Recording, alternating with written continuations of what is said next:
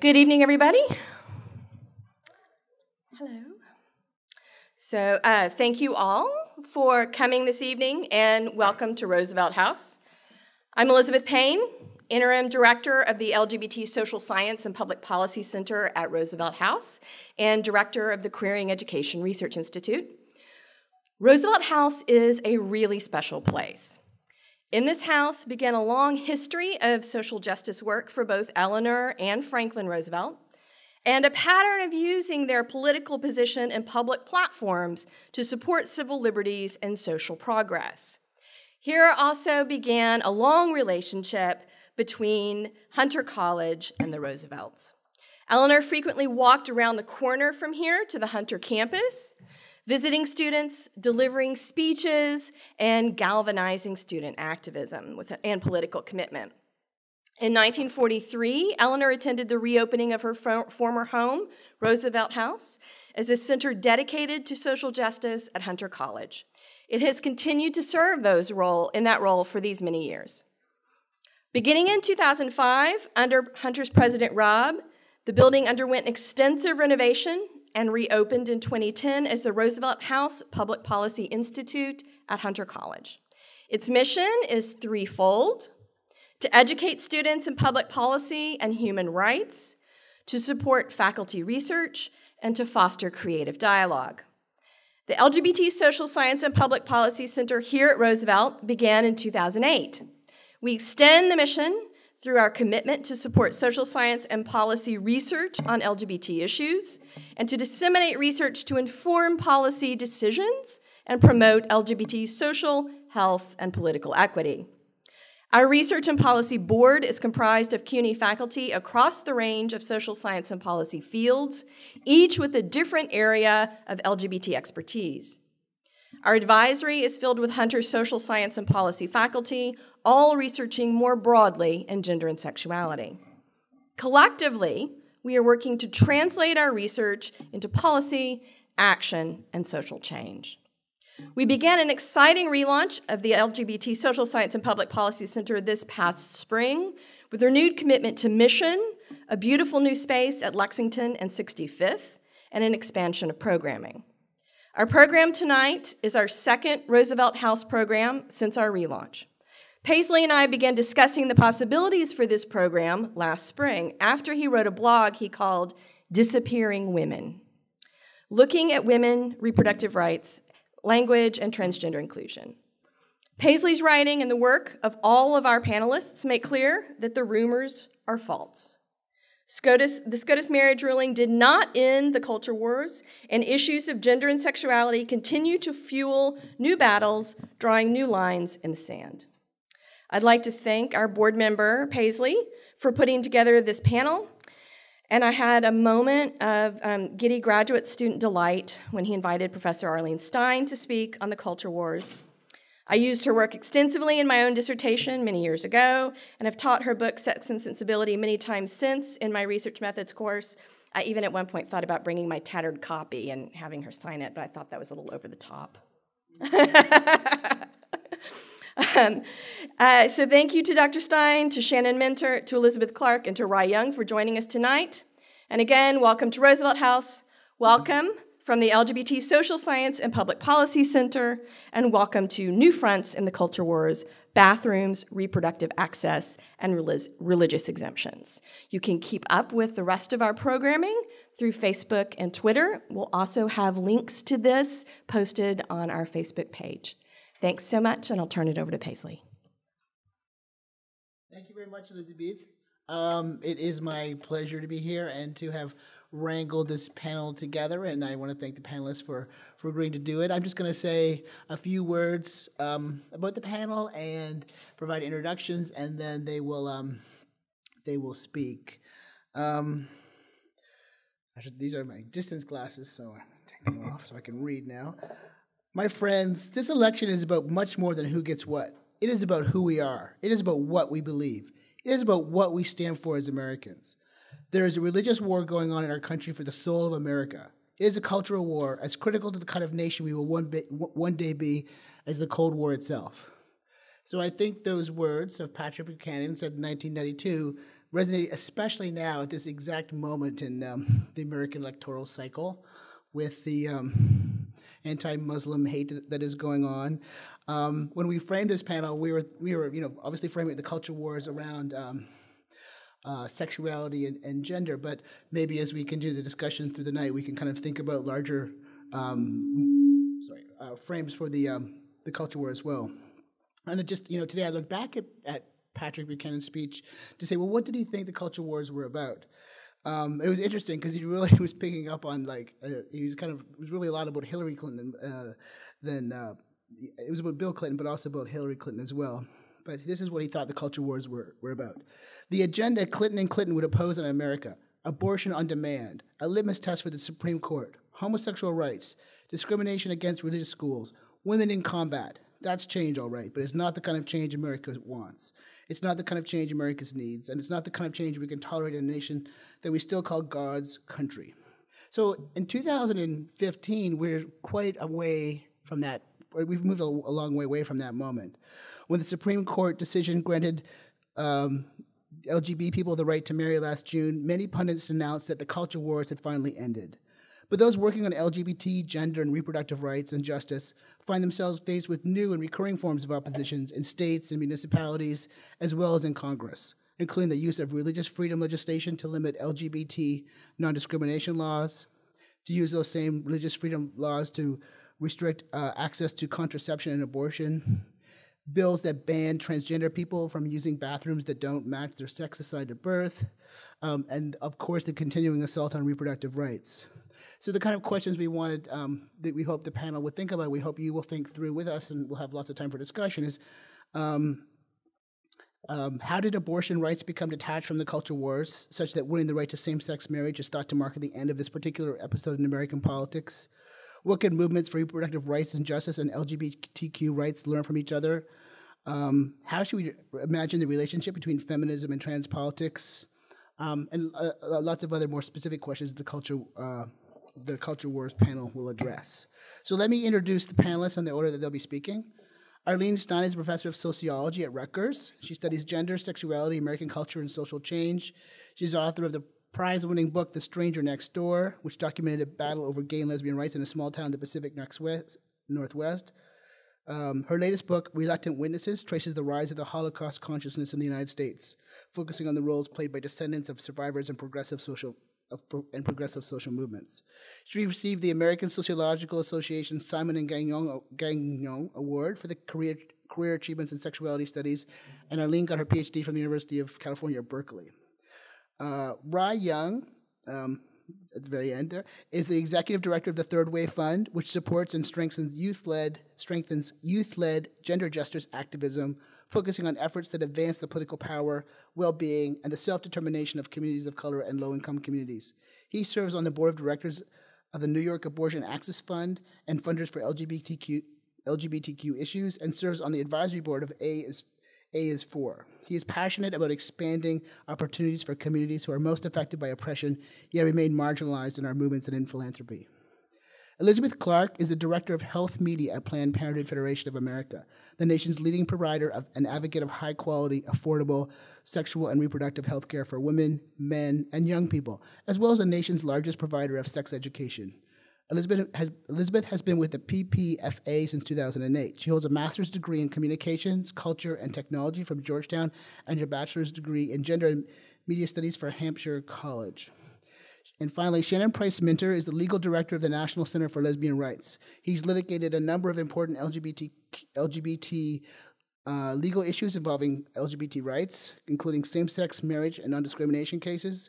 A graduate of Cornell Law School who is awarded an honorary degree from CUNY School of Law for his advocacy on behalf of same sex couples and their families. He's published widely on GLB and transgender rights, including transgender rights. In 2015, President Barack Obama appointed Minter to the President's Commission on White House Fellowships. So, with that, I will turn it over to the first speaker, Arlene Stein. Thank you. Can you hear me? Yes. Uh, I'm honored to be here with you uh, today, and uh, Paisley's invitation prompted me to reflect upon a time uh, about 20 years ago when I was witness to a particularly ugly uh, culture war battle up close. I had just moved from San Francisco, where I lived for many years, to or, rural Oregon to take, take a teaching uh, position there. And a conservative Christian organization called the Oregon Citizens Alliance was mobilizing voters to uh, oppose civil rights for gays and lesbians in what became known as Ballot Measure 9. How many people here have heard of Ballot Measure 9? Just curious. Okay, not that many. Um, so earlier, religious right campaigns fought the normalization of homosexuality by focusing on the immorality of private sexual acts. This campaign switched tactics, attributing superior power to gays and lesbians and attacking the status of gays and lesbians as a minority group uh, deserving equal rights under the law. Ballot Measure 9 reframed equal rights as special rights and convinced many voters that their own hardships were caused by gays and lesbians' growing influence in society. By denying them rights, they were told they could improve their own lives. Now, at the time, I had operated under the naive assumption that Americans believed that the extension of civil rights to different minority groups was an unalloyed good thing. In graduate school, I also learned that uh, secularization, the growing, you know, the lessening impact of religiosity would relegate religion to the private sphere where it would have little impact on American society and other, other contemporary societies. And I thought of Oregon as a particularly crunchy granola kind of place. Um, and as it turned out, I was wrong about all of those things. Um, 20 years ago, during that time, Christian conservatives instigated a series of campaigns, many of them locally based, including the ones in Oregon, which were designed to consolidate their own, uh, their, themselves as a political force and also to make inroads into the Republican Party. In Oregon, a ballot measure 9 was one of those, um, one of the, was part of that strategy. Still, I couldn't quite make sense of the, the fact that so many Oregons, Oregonians actually believe they were improving their lives by supporting this measure. So, what I did is I decided to go into one rural community, an old timber town, to try and talk with people on both sides to try and figure out what was at stake in this conflict. So I spoke with teachers, I spoke with ministers, I spoke with auto mechanics, anyone who would, who would speak with me. And what I found was a place where the decline of the timber industry had created unprecedented insecurity among the white working classes. Evangelical Protestantism had um, offered many people at the time a sense of uh, a set of answers that they didn't have or that they were looking for. Conservative um, uh, activists were energized by that resurgent um, evangelicalism, and they, were, they managed to convince disgruntled Oregonians to join the charge.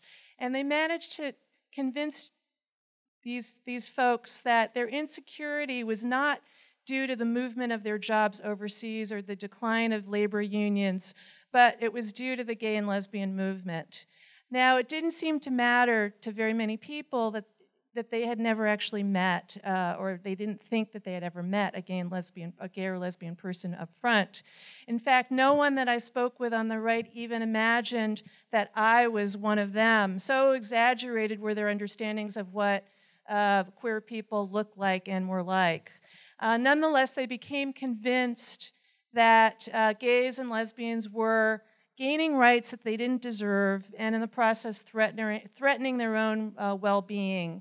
By supporting the ballot measure, they believed that they were taking a much needed stand, but precisely against what very few had any idea. Ultimately, some of you may know that the ballot measure failed by a relatively uh, narrow margin. Afterwards, uh, the Christian conservative, conservative activists who led the charge went home licking their wounds. And over time, the accumulation of many such uh, defeats um, have led some to proclaim, as, as Paisley mentioned, that the culture war is dead, that the religious right is dead. Now, nationally, cons- Christian conservatives are certainly in a, a state of transition. The old guard, people like Jerry Falwell, are for the most part gone. Opposition to gay and lesbian rights, which was once a reliable wedge issue, has collapsed under the weight of shifting public opinion and the Supreme Court ruling on same sex marriage.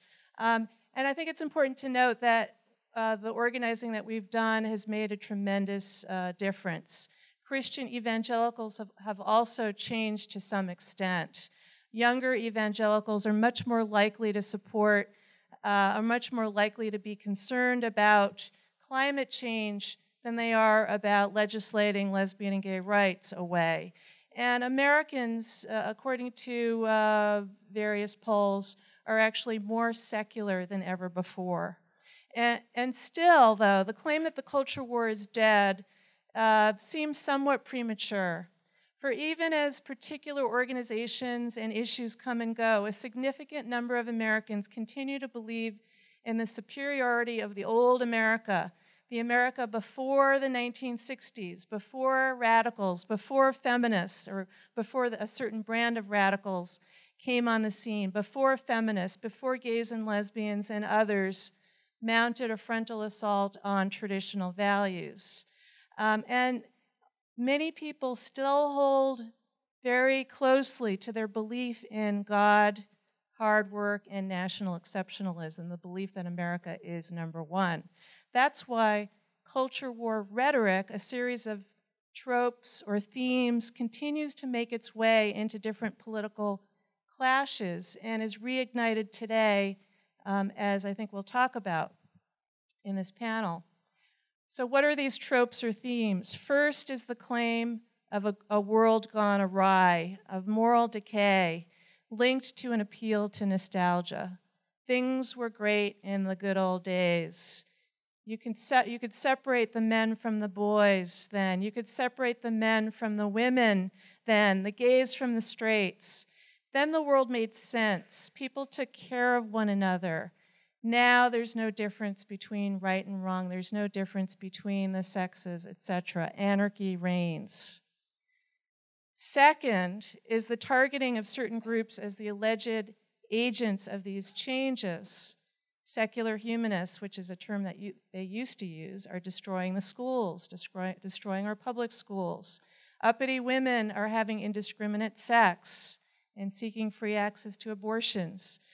Homosexuals are preying on young children, and now transgender people.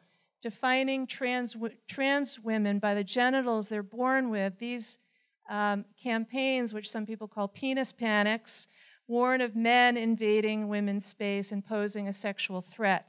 Not all that different from earlier anti gay campaigns that often pictured homosexual men as sexual predators and threats to chil- threat to chil- children in particular.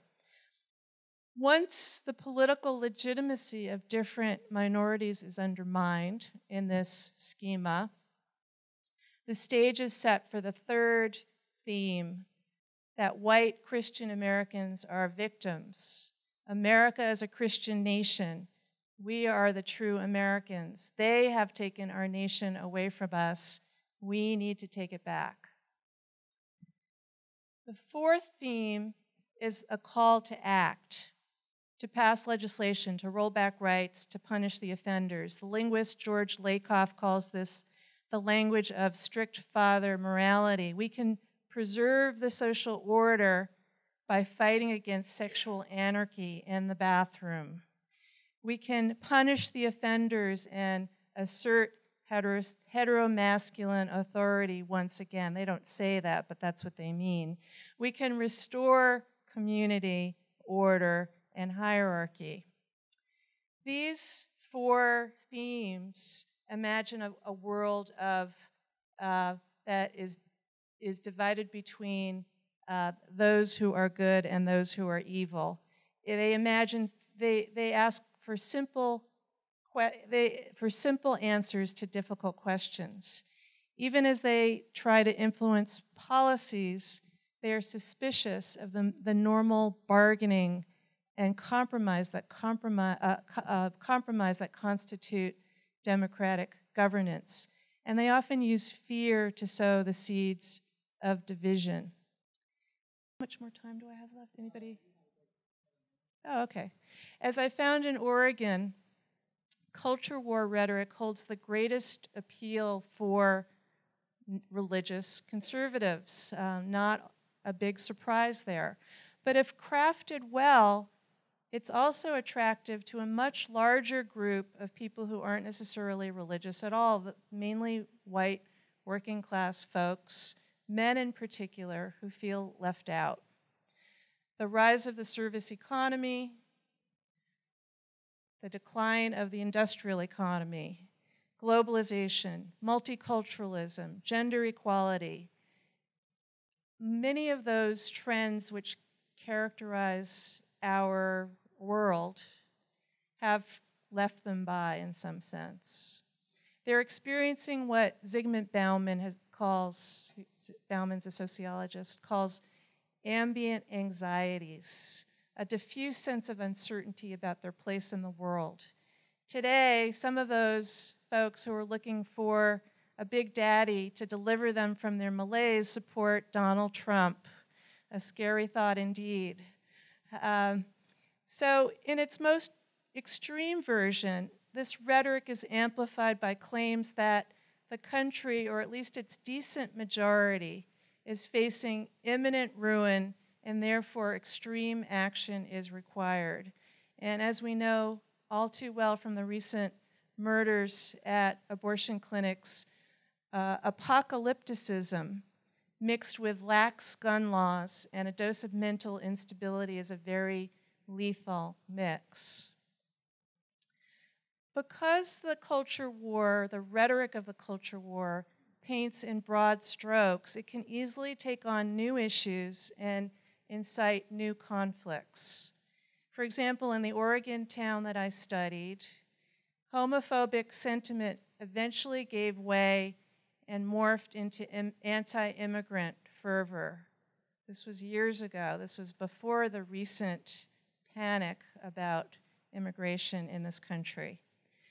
Uh, my colleague Zakia Salime at Rutgers and I have recently written about the ways that Islam, Islamophobic rhetoric on the right today often takes a page out of the playbook established by campaigns against gay and lesbian rights in the 1990s, including the campaign that I tracked.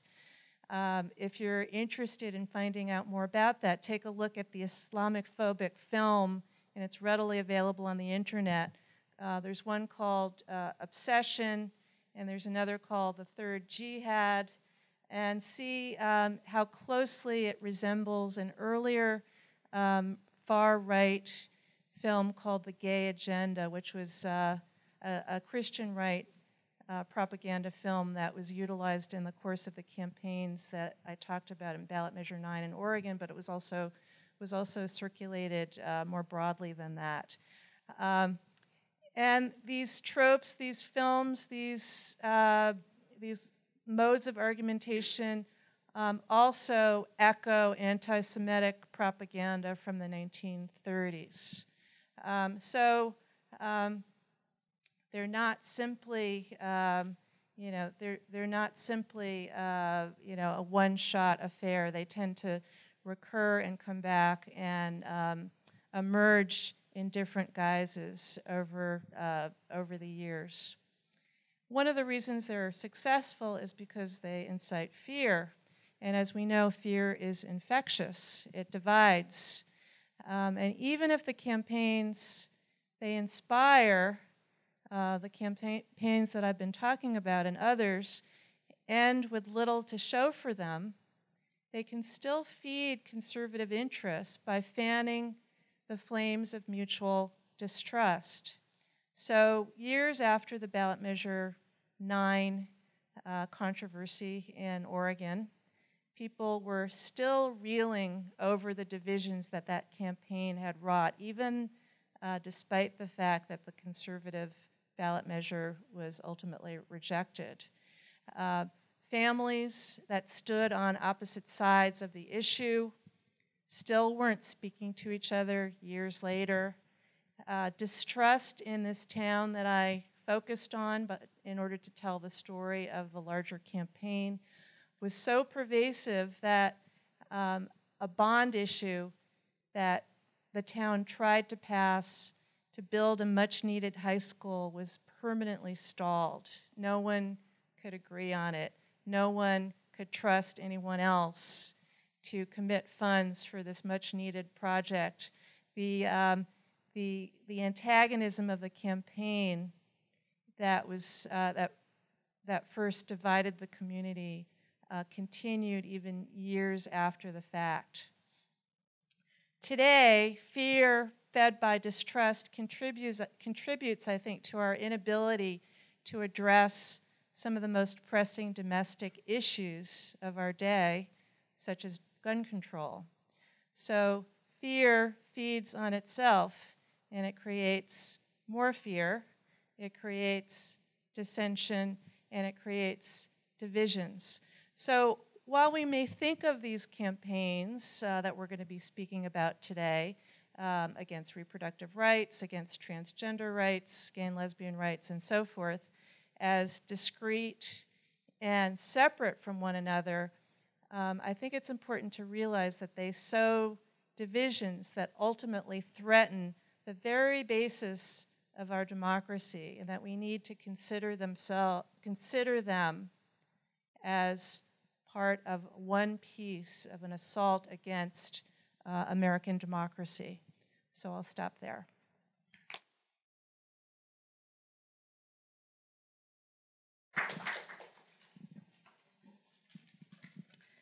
Hi, everyone. Everyone in the back and up top.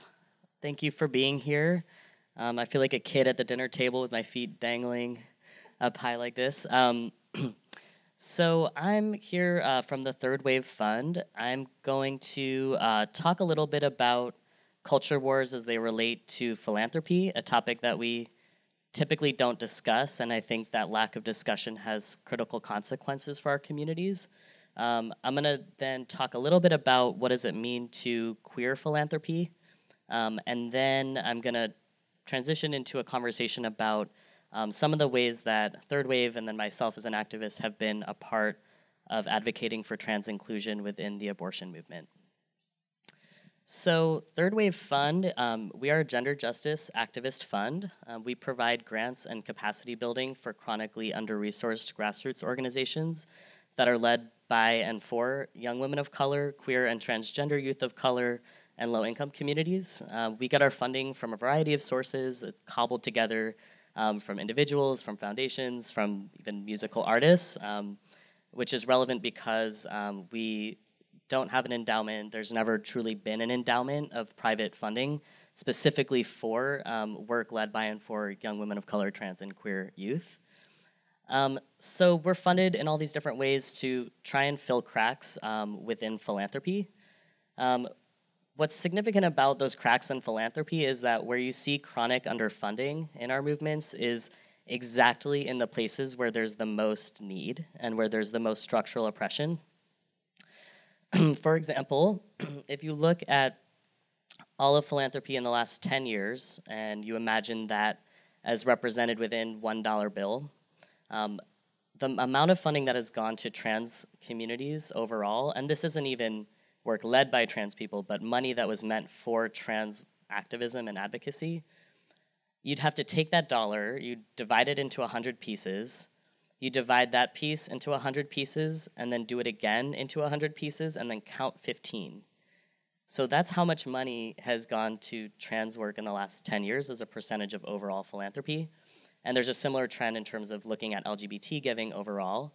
And then further within that, when you look at trans philanthropy in general, it's pretty well understood that um, trans women of color have some of the most um, significant barriers to accessing healthcare, um, participating in civic life, getting degrees, um, avoiding violence. Um, and take, taking all of that into account, trans women of color receive the least amount of funding of anyone within the trans community and it is very rare to find an organization that is going to really invest in the leadership of those communities.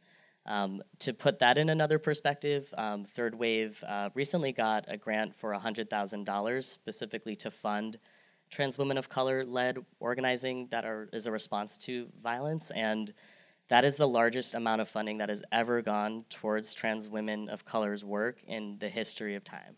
And that's just 100,000 um, barely enough to do uh, much at all with.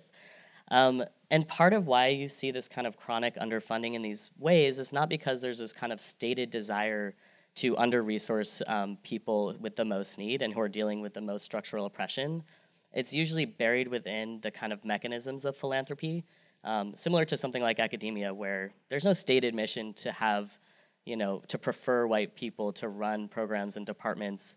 Um, but through many different kind of overlapping systems of oppression, you find, you know, all white panels, you find departments that are predominantly white. So philanthropy has its same sort of problems. Um, and two main things that lead to this understructuring, uh, under resourcing, have been uh, a, a, clinging onto single issue funding priorities, um, which essentially negates any type of intersectional approach to moving resources. And when you and intersectionality is, is often code for where there's the most need, where are there interlocking systems of oppression.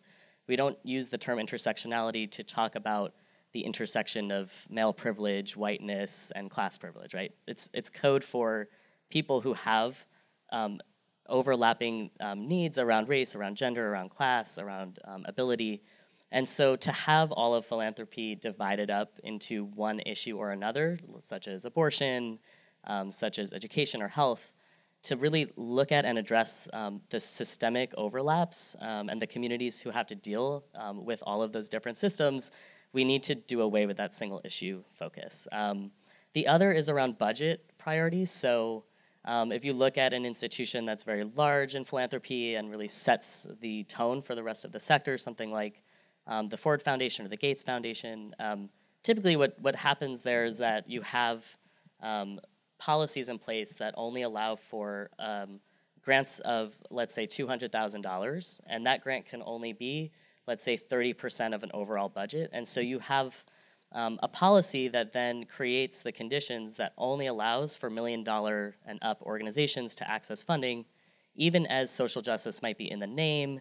And so we kind of think of these tactics or these policies as the neoliberalizing of uh, funding, um, the usurping of the term social justice as you know ways that um, end up prioritizing um, where we find the most privilege, the least need, et cetera. Um, so in addition to where um, we see chronic under-resourcing within communities and issue priorities, um, we also see under-resourcing within the strategies that best serve the communities that have the most needs. So by that I mean community organizing, political education, um, power building activities, activities that build um, strength in, in numbers, um, those strategies are typically under resourced, um, and then it in part has to do with the fact that the budgets are often small, but we really feel that the under resourcing of those strategies is not that they don't work, but that they do work, that that is really powerful um, methods for social change, and that oftentimes what's not wanted is um, radical movements gaining power that are looking at systemic inequality, and, and, and there's a preference towards funding safer things that keep our economic system and racial systems the way that they are while trying to move the needle on something very specific like abortion access. So um, this is why we fund um, gender justice um, broadly as a cross-movement um, issue. Um, we do a lot of funding within the racial justice community, within the economic justice community, um, and so that's third wave in a nutshell. I want to talk a little bit about queering philanthropy um, and some of the ideas behind some of the theoretical approaches to the way that we understand um, philanthropy and also the power to undo some of that um, concentration of wealth and, um, and hierarchy. So um, when I think about you know, what creates um, a straight philanthropy, it has to do with the idea of binaries and silos and the way that ideas are understood and identities are constructed. Um, hierarchy um, in the way that the organizations are structured, the ways that um, philanthropy exists is in in some ways more hierarchical than even our government, than even corporate America, because there is no actual check on philanthropy.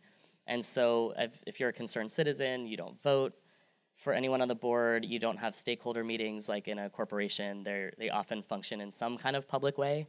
And so there's often levers that you can hook into that can have some kind of advocacy tool. Um, corporations depend on um, consumers, and so if you want to, you know, have an organizing campaign where a corporation is the target, um, you can actually do public messaging work that can often be effective because they depend on the idea that they're a good organization or a good company.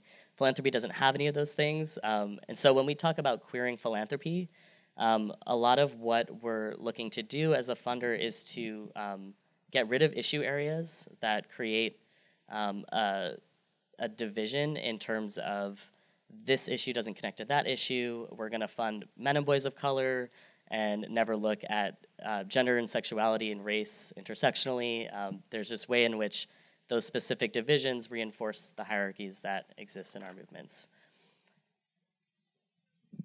I also um, think that the ways that people participate in philanthropy can have a, a powerful effect in um, building power, um, having people, you know, at Third Wave who are directly affected by our issues, leading the work, being on the board, being on staff, um, being in our internship programs. Um, these are all various ways that um, philanthropy typically doesn't operate and often tends to exclude young folks, people of color, queer and trans people, um, and young women of color. Um, and then I think importantly, uh, we strive to evolve and learn and shift our understandings of set ideas and concepts. And so in about 2001, um, at, when we had started, we were um, understood to ourselves as a feminist foundation focusing on women and girls. Um, in 2001 was when we started to um, learn about trans inclusivity, about the interconnections between sexism, misogyny, homophobia, and transphobia, and really intentionally decided to open up and incorporate um, transgender nonconforming and intersex communities into our mission. Um, and then as we progressed even further, it became um, clear to us that trans inclusivity as a concept was marginalizing, that the idea that we are feminists and women's and we're going to uh, make a, a, little space to include a certain community is um, in and of itself a way to sort of keep people on the margins. Um, and so we, around 2003, um, decided that um, we would not call ourselves trans inclusive, but we would talk about ourselves as a gender justice space. And so our gender justice framework, the way that we've um, been defining it, and it's always evolving and shifting, is that um, gender justice is a, is a movement to end patriarchy, transphobia, and homophobia, and to create a world that's free from misogyny. And as um, gender justice activists, um, we recognize that gender is inherently tied to classism, racism, ageism, and ableism. And so gender justice can only really be achieved if we end all forms of oppression. So that's really where we landed after a lot of sort of working and reworking um, who we were and what we were about. Um, and so I want to give shift gears a little bit and give an example um, and uh, pull in a concrete way that third wave has been um, part of being in the forefront of um, making trans people um, leaders um, in the abortion movement where they're typically missing. Um, I got my start in um, Third Wave as our abortion fund intern in 2008. Um, at that point, I was the um, first transgender person to be an intern at the organization, and even though there was this kind of stated mission to be trans inclusive, it hadn't yet really played out. so in 2008, in 2009, we became the first national abortion fund that was 100% trans led. It was me and another um, person in our foundation who came on later in 2009. Um, in 2010, we created the first report that talked about reproductive health and abortion um, from a gender inclusive perspective. So the language, the framing of the issue, um, all talked about abortion as um, being a service that is needed by all people and not just by women. Um, this was the first time that we know of that any kind of report or written document that was published um, had gone about um, shifting language and naming why we did that in the report. Um, it interestingly didn't get any interest from TERFs. it didn't get any backlash. Um, there wasn't any kind of public outcry from any sort of um, folks who you now see popping up in the mainstream media, um, like Katha Pollitt and The Nation, various other writers who are very upset that, uh, that the abortion language might be shifting towards um, gender inclusivity. Um, and I think that has a lot to do with the fact that third wave was considered radical, was a people of color majority, people of color organization, um, had been trans inclusive for a long time. And so I think it speaks more to the way that um, we just weren't a part of mainstream conversations for a long time. Um, more than anything, you see a lot of. Um, I'm going to give an example about the New York Abortion Access Fund soon, but when they, as a much smaller and local organization, shifted their mission to include um, language that is gender um, neutral or gender inclusive, there was a lot of outrage. There was a lot of uproar, and they were probably, a, you know, 10% of the size of Third Wave and operating very locally in New York. Um, whereas we were national, had a bigger budget. There was really no upsetness about Third Wave. Um, and it also wasn't really remembered, wasn't really recognized as something that we had done. And I think that has a lot to do with the fact that we were trans people doing it. And now, as more organizations who are cisgender led and who um, haven't really been building many relationships within the trans community have been making this shift, there's a lot more recognition of the organizations that have been doing that work, um, and they're being you know referenced in the media and that kind of thing. Um, so I was on the board of the New York Abortion Access Fund when they um, changed their mission uh, three years ago to um, refer not to women who get abortions, but to all people who get abortions.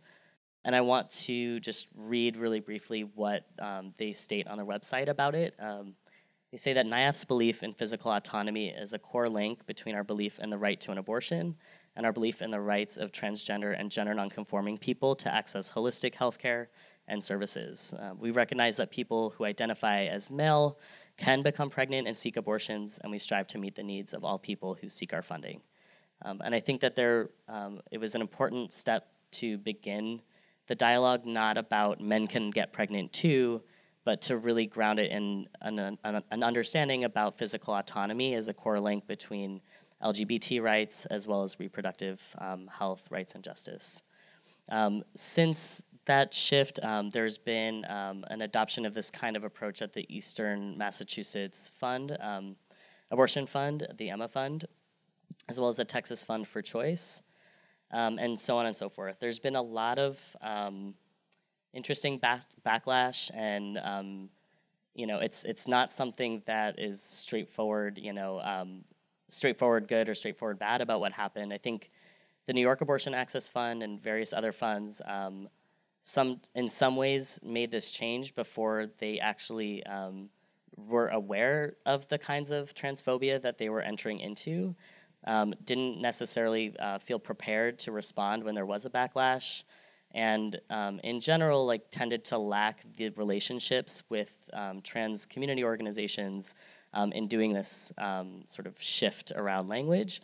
I think um, when when we did it on the board level it was kind of hey men get you know pregnant too and people are like okay we'll change the mission. It was like that easy. And then once it became clear that there would be a you know an actual cultural conflict around it i think that's when it, it, became clear that there needed to be a lot more understanding and research and work done on the board level. Um, I think some of the other challenges to the ways that abortion uh, movements have been um, trying to become more trans inclusive um, is that it really has been operating on the level of language. Um, there's been very little genuine involvement and engagement of transgender and gender nonconforming people um, in the actual um, abortion organizations. Um, there has been there, the repro field is, has a very kind of disconnected uh, way of existing between grass tops organizations and, and grassroots organizations, which can play out in a lot of different ways. And I think that it's it can be challenging to talk about trans inclusion when you also have huge gaps of, of, of representation of women of color, for example, or of folks in rural areas. You know, you have all of these power dynamics, um, and yet the trans inclusive piece, because it does hit a nerve in our society, tends to take um, more of a of a heightened uh, heightened dialogue and, and take up bigger space in the media because um, I think it, it's something that just provokes um, more um, uh, just more interest and more sort of um, horror horror stories about you know that feed into these ideas of trans people um, you know are up to the darndest things like getting pregnant and abortion. Um, so I think um, the in terms of the mainstream reproductive health backlash, there's been a lot of um, kind of ideas that this shift has been um, part of erasing women, um, just period, just erasing women from um, from uh, leadership, erasing women from the narrative, um, taking something away from women who this you know who abortion obviously impacts the most.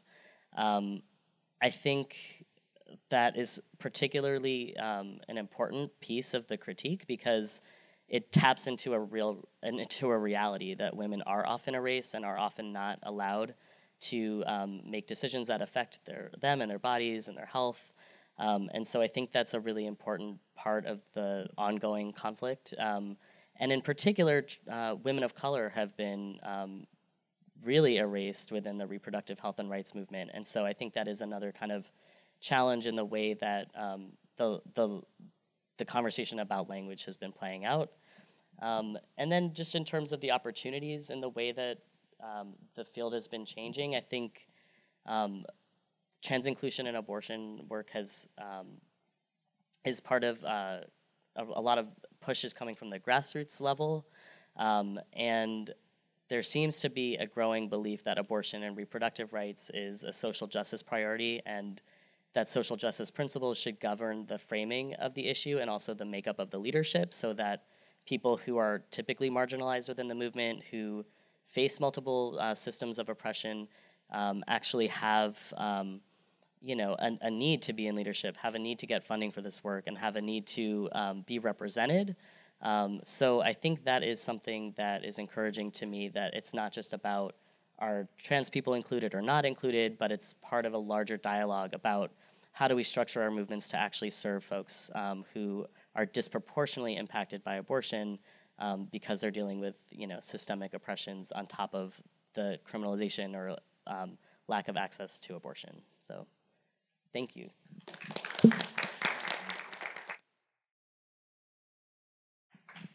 Hi, everyone. Um, I have not practiced my remarks, so I have no idea how close this is going to be. I'm just going to set my timer. Um,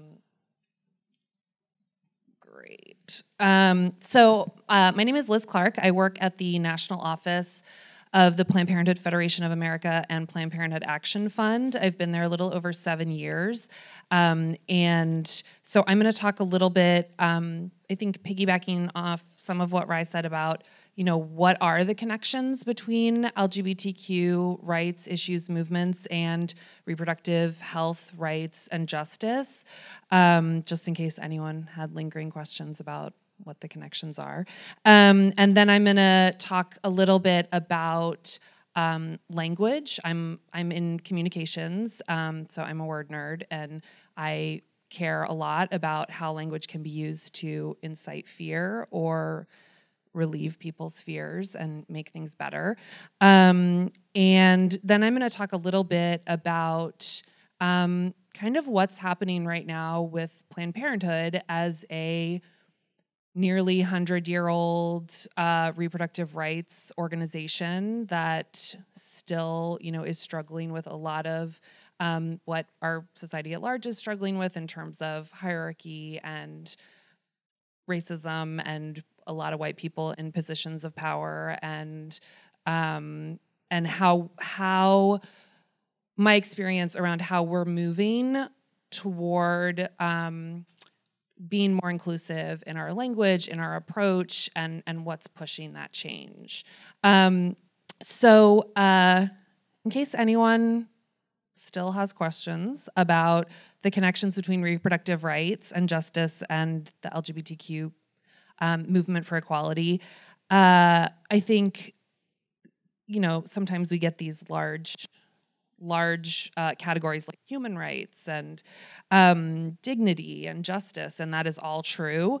Um, but I think in terms of really specific things that link us, well, for a lot of us, they're not separate movements because um, they exist in our bodies at the same time, right? So we have um, trans men who need to access abortion. We have trans women who need to access breast exams. We have um, gender nonconforming folks who want to get birth control without having you know without being treated like shit basically right? I'm sorry am i am i allowed to curse at this? Okay.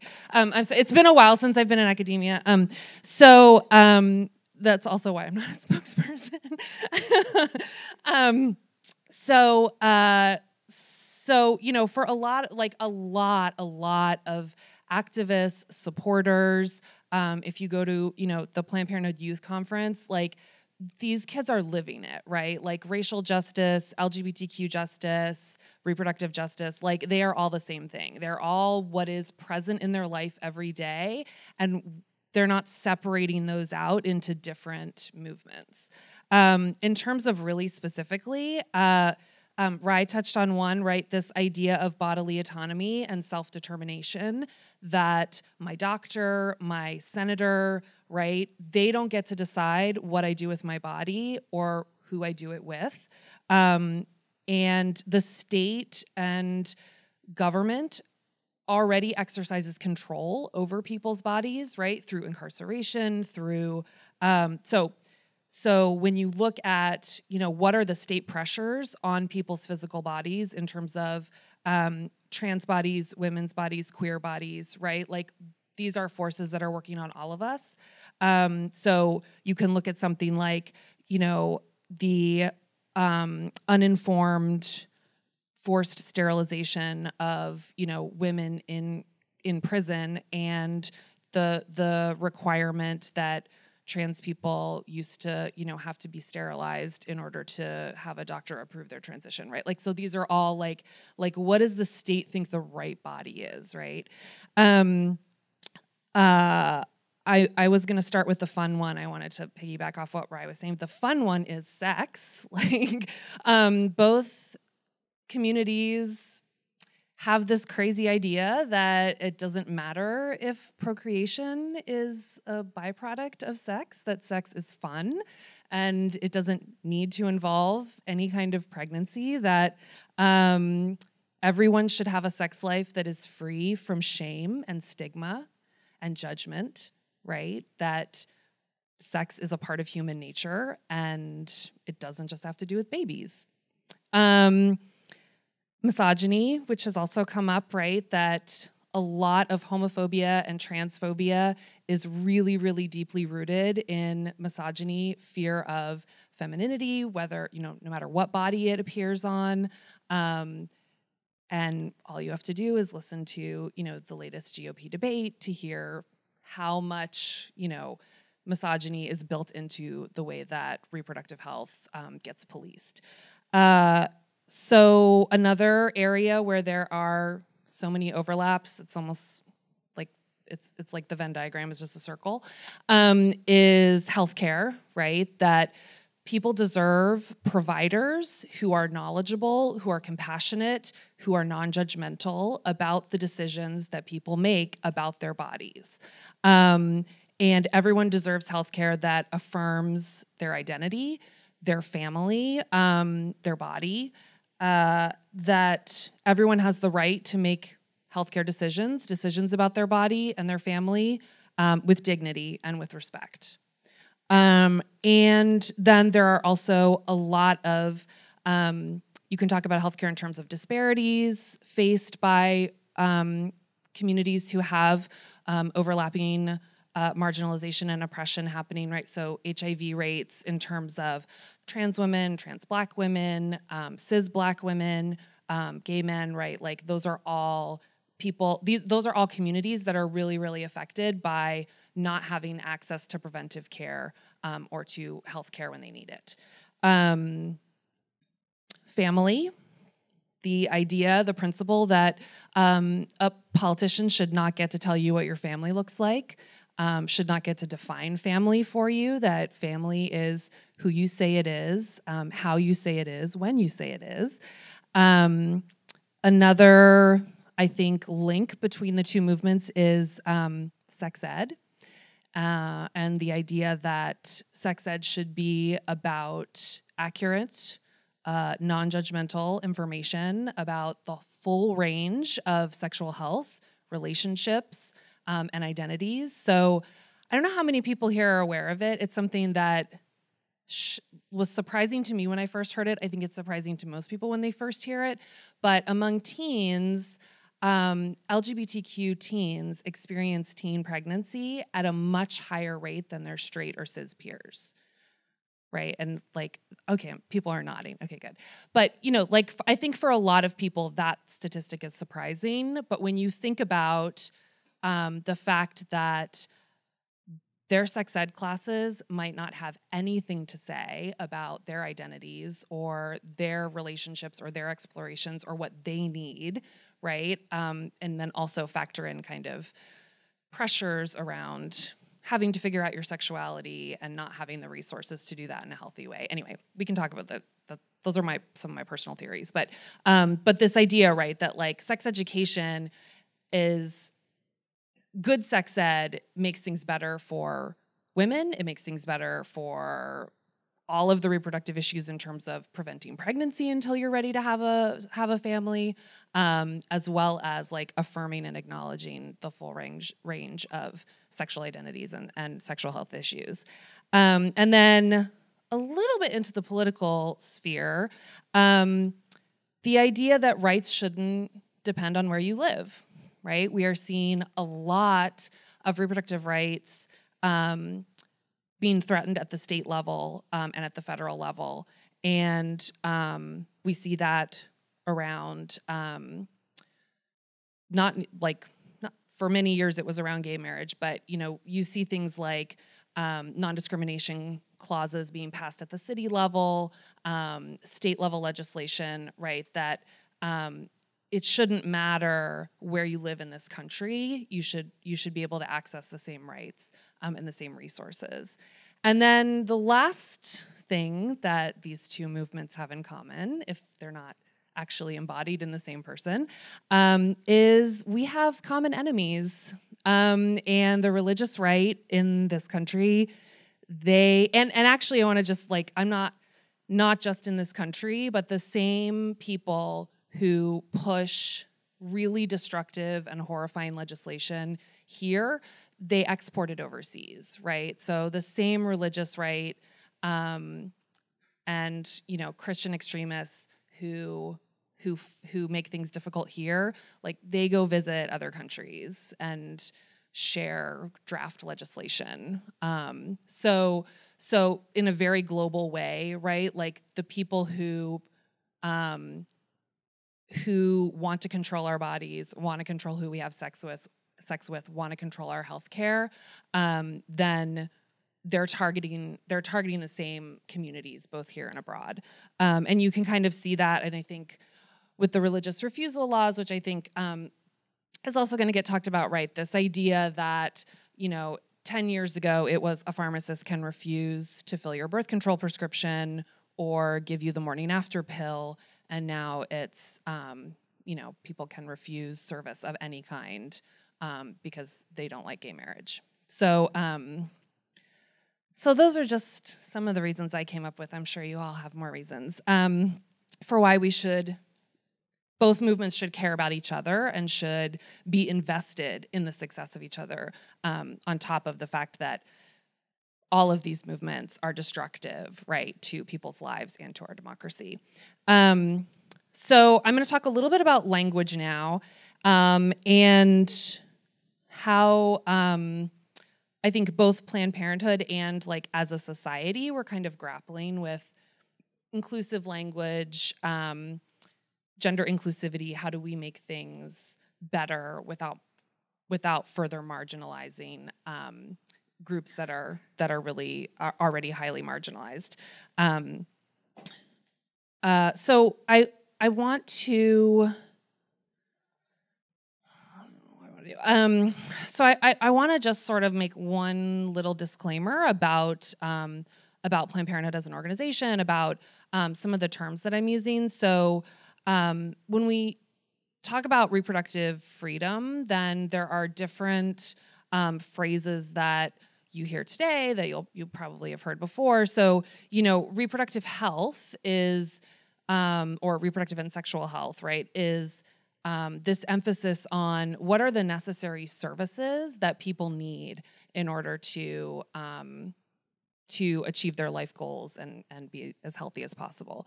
Reproductive rights um, is the emphasis on making sure that there are legal protections and um, that that reproductive health access is constitutionally guaranteed and protected, right? Um, and reproductive justice is this much broader movement, um, which I am not a spokesperson for, and I want to thank Rye for like calling out this all-white panel.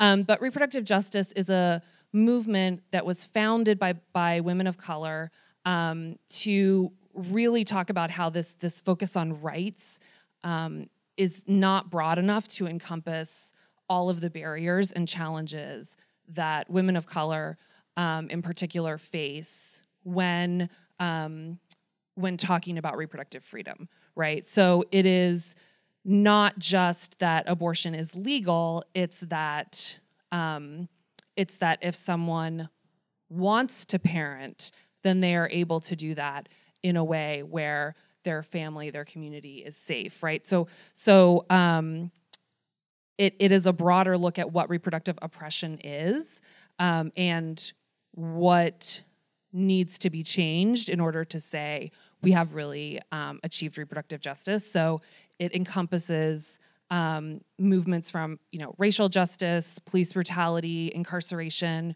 the school to prison pipeline, um, immigration, and the dividing of families where some people in that family are undocumented and others aren't right? So it's it's a much broader um, and i just want to kind of be clear that like planned parenthood is a reproductive health and rights organization. We are not a reproductive justice organization. Um, we are striving to be better um, and that's what i'm going to talk a little bit about but just to kind of give folks the frame around around those three categories. Um, and i realized like I was asked if I wanted to do a PowerPoint. And I was like, no. And then I was like, oh, but now I have all these visuals. But mm. um, so so um, you know, I, I've been in Planned Parenthood a little over seven years. It, like I said, it's almost 100 years old. It's very old, very large. Um, and it has a lot of different audiences, right? We have the development, um, philanthropy audiences of donors, um, many of whom are older white ladies um, whose idea of feminism is about 30 years old. Um, we have our audiences in um, elected spaces and um, on the Hill, which again are a lot of them are 70 year old senators. we have online audiences, we have youth supporters and activists.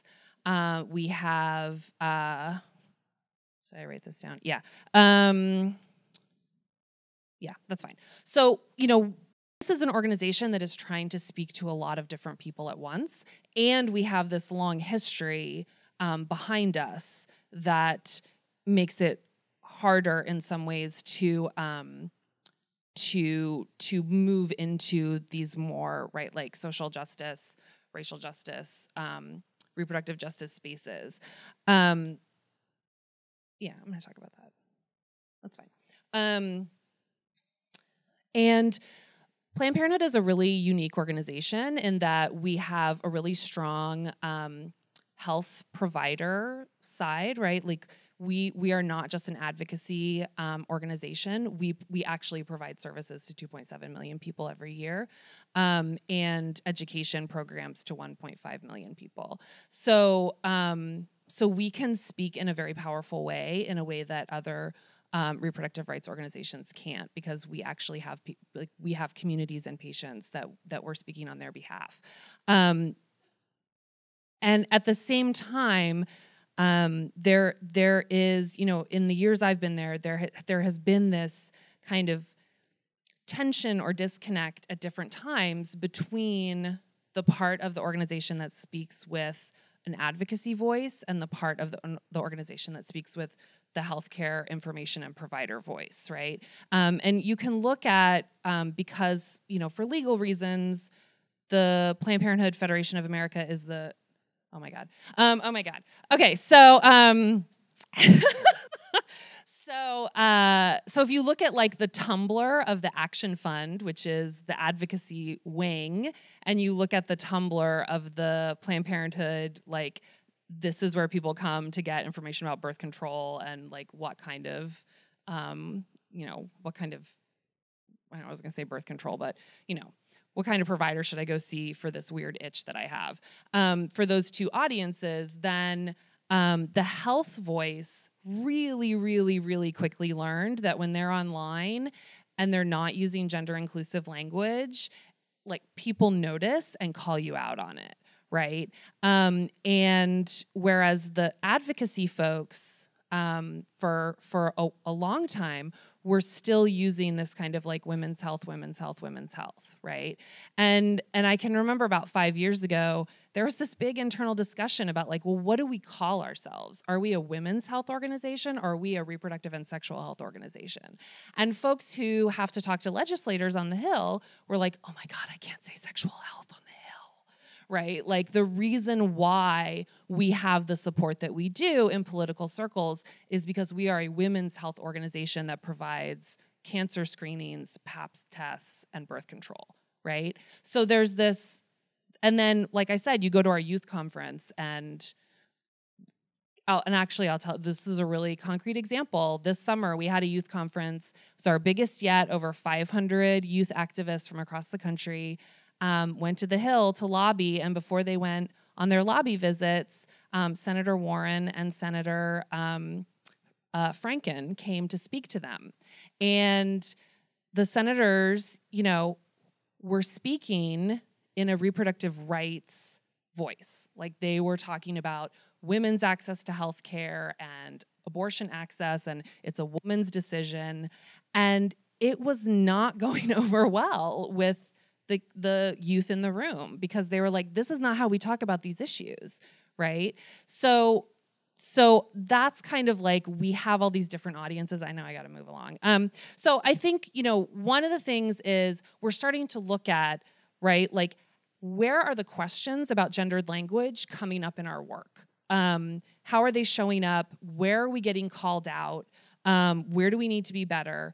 Um, and how can we balance right like this this policy work where you know the attacks on planned parenthood the attacks on reproductive access and sexual health access in this country are rooted in misogyny right? Like that's just that's the fact right? Like paul ryan is not thinking about a trans man who needs an abortion when he's working to pass his bill right? Like he is thinking about women who need to control themselves and not open their legs right? Like that's so, you know, when we have a slogan like Trust Texas Women, right, which is pushing back against legislation that very clearly targets women's health and women's health providers, right? Like that is non-inclusive language. That's gendered language, right? So so um and uh, I think I have to wrap up, but I'm just gonna. So, some of the movement um, that I've seen, right? Like, when do we use the word women's health? And when we use women's health, are we talking about trans women,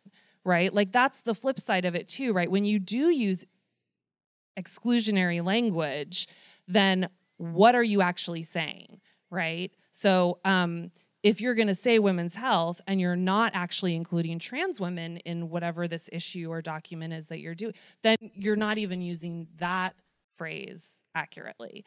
Um, so it's a process. Um, and I think one of the things that we're working through right now, right, is this how do we become more aware of the language we use?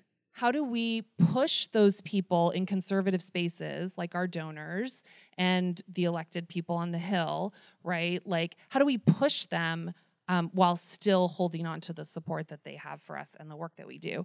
Um, and so I think you know we're really on on our way to finding this kind of shared clarity across the organization so that there isn't a divide between the advocacy folks and the health information um, and education folks where and when are we using gendered language? When are we using inclusive language and why? And like, what are we actually saying when we do that, right? Do we have to say women's health or can we say women, men, and young people because that's who comes to our health centers and that's who comes to our education?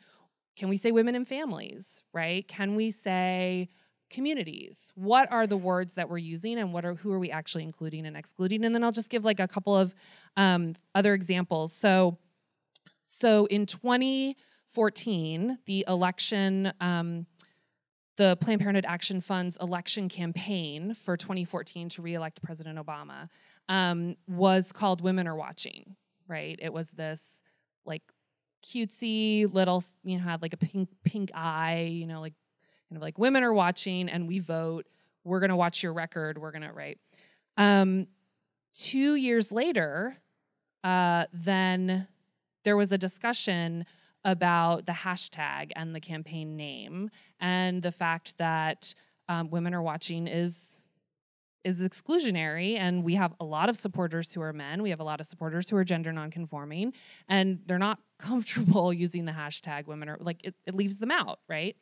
So then the decision was made that we would use i'm watching as the hashtag. So anyone could use it and it would be you know just refers to yourself um, and this year, for the 2016 election, um, the campaign that was announced last month is called "I Vote Planned Parenthood Action." Right. So the so just in four years, you can see right like there was this very gendered campaign name.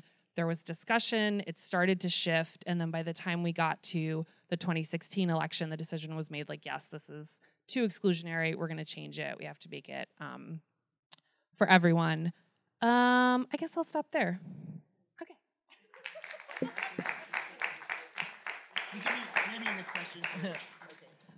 Uh, hey everybody, and thanks for uh, coming to this. Um, so my name is Shannon. I'm a transgender guy and an attorney. Uh, I've been working on LGBT uh, legal advocacy, advocacy for about tw- uh, 22 years now.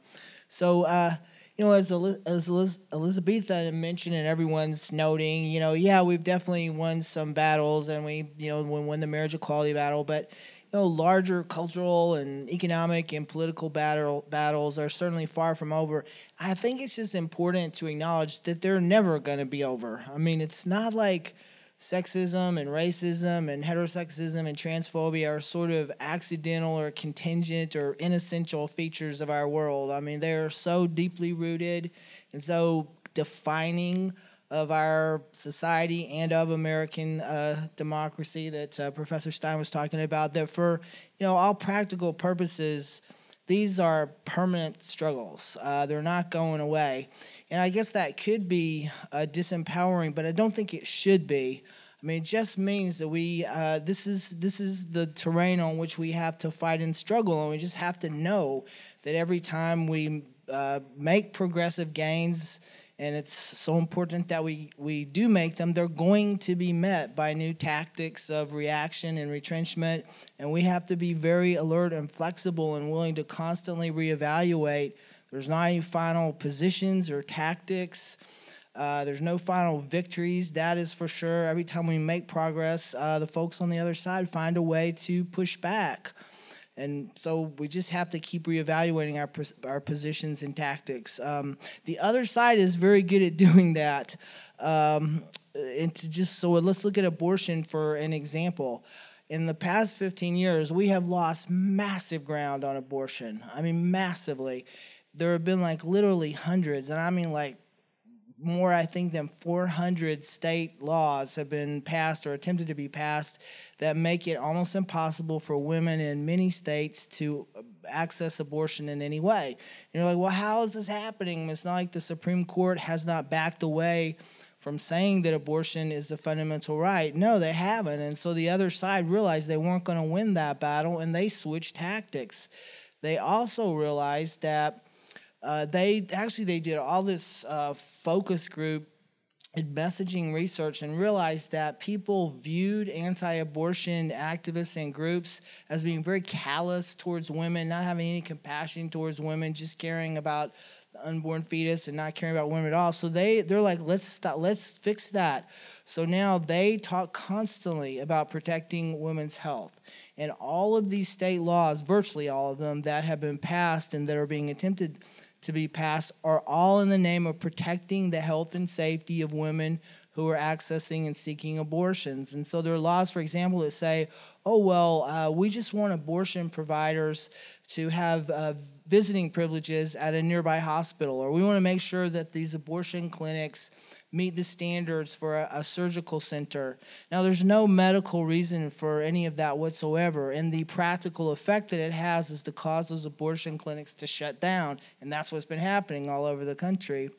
I mean, we're finally at a point where uh, the other side, you know, th- those of us who want to protect um, access to abortion are sort of calling this out. And so there is now a case, a really important case, in front of the U.S. Supreme Court that's challenging those, two, those laws that passed in Texas saying that abortion clinics have to have uh, the providers have to have visiting privileges at a local hospital and that the clinics have to meet the same standards as a surgical center. Well, the result, what that has done in Texas is virtually eliminate access to abortion in Texas. And then it gets combined with other repressive things that are happening right now, like uh, President Obama, who's been a great president in many ways, but not so great on immigration, and he's really cracked down on uh, the border between Texas and Mexico, and that means there's like you know, tens of thousands of undocumented, largely people living in that area. There's all these roving immigration checkpoints. So people are literally, women are literally, and everyone else, but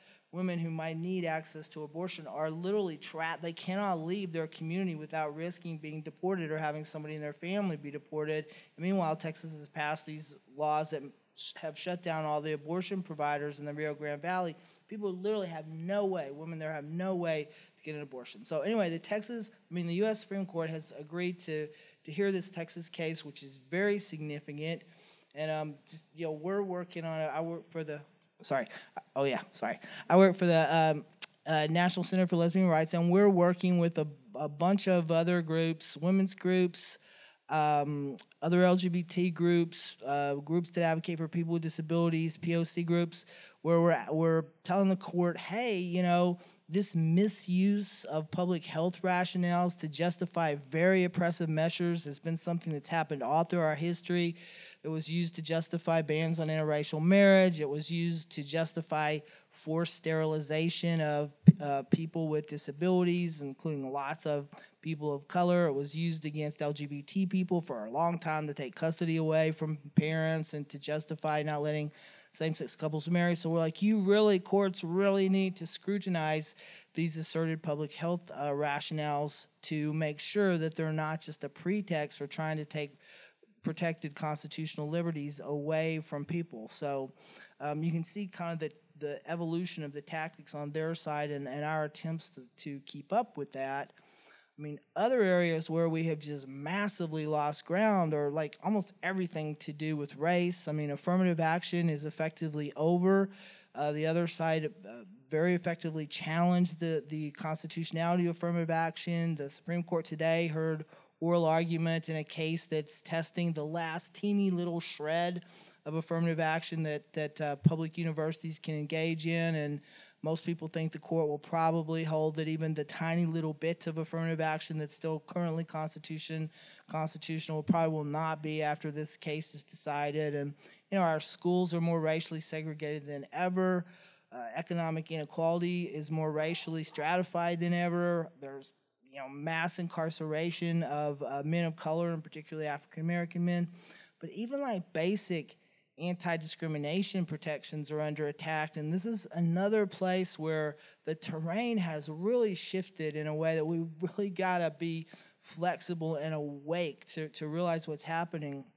A lot of people have alluded to efforts on the parts of really reactionary people who do not support any type of anti discrimination laws to invoke religious liberty uh, to justify uh, people businesses and private individuals and even government officials being able to refuse to comply with non discrimination laws.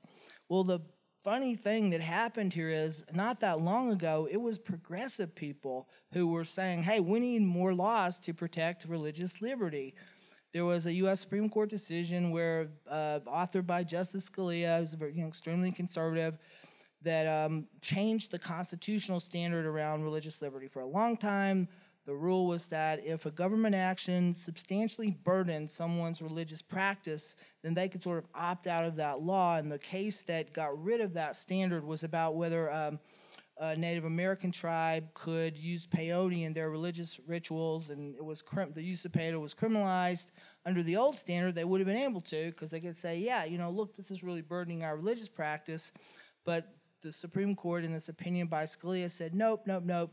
As long as the law was passed for a neutral reason, it's applied to everybody, and the intent wasn't to discriminate against a particular religious group. Everybody has to comply, and you can't invoke religious liberty to get out of that. So uh, the whole progressive community was horrified by that ruling, and we're the ones who pushed Congress and states to enact these so called Religious Freedom Restoration Acts that were designed to restore that old constitutional standard.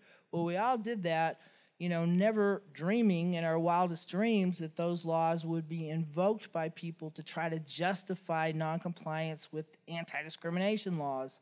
I mean, the idea was always like, yeah, if the government is oppressing an individual or a group of people like, like the the Native American tribe, we don't want that to be able to happen. And I mean, the classic example of religious liberty that everyone was thinking about when we wanted these RFRAs was like a prisoner who needs to wear a beard for religious reasons or needs to have access to kosher meals or, or an employee who needs Saturdays rather than Sundays off for religious reasons. But never ever was it thought about that people would say, well, I have a religious right to hurt another person to like discriminate against you or or not to comply with a law like i'm not going to give you contraception because even though you need it medically because that violates my religious freedom. Well the other side very cleverly has adopted the mantle of religious liberty to justify these claimed right to just violate anti-discrimination and public health and safety laws. And now we're kind of reeling from that and um, the progressive side is trying to figure out how we can effectively respond to these efforts, which is difficult because for the longest time we're the ones saying religious liberty is a good thing, and it is. It's just this is a very uh, insidious and kind of sneaky and horrible uh, misuse of religious liberty to justify things that really hurt people, and that if these were accepted into law, would completely destabilize kind of our whole legal system and make non discrimination laws pretty much mean nothing.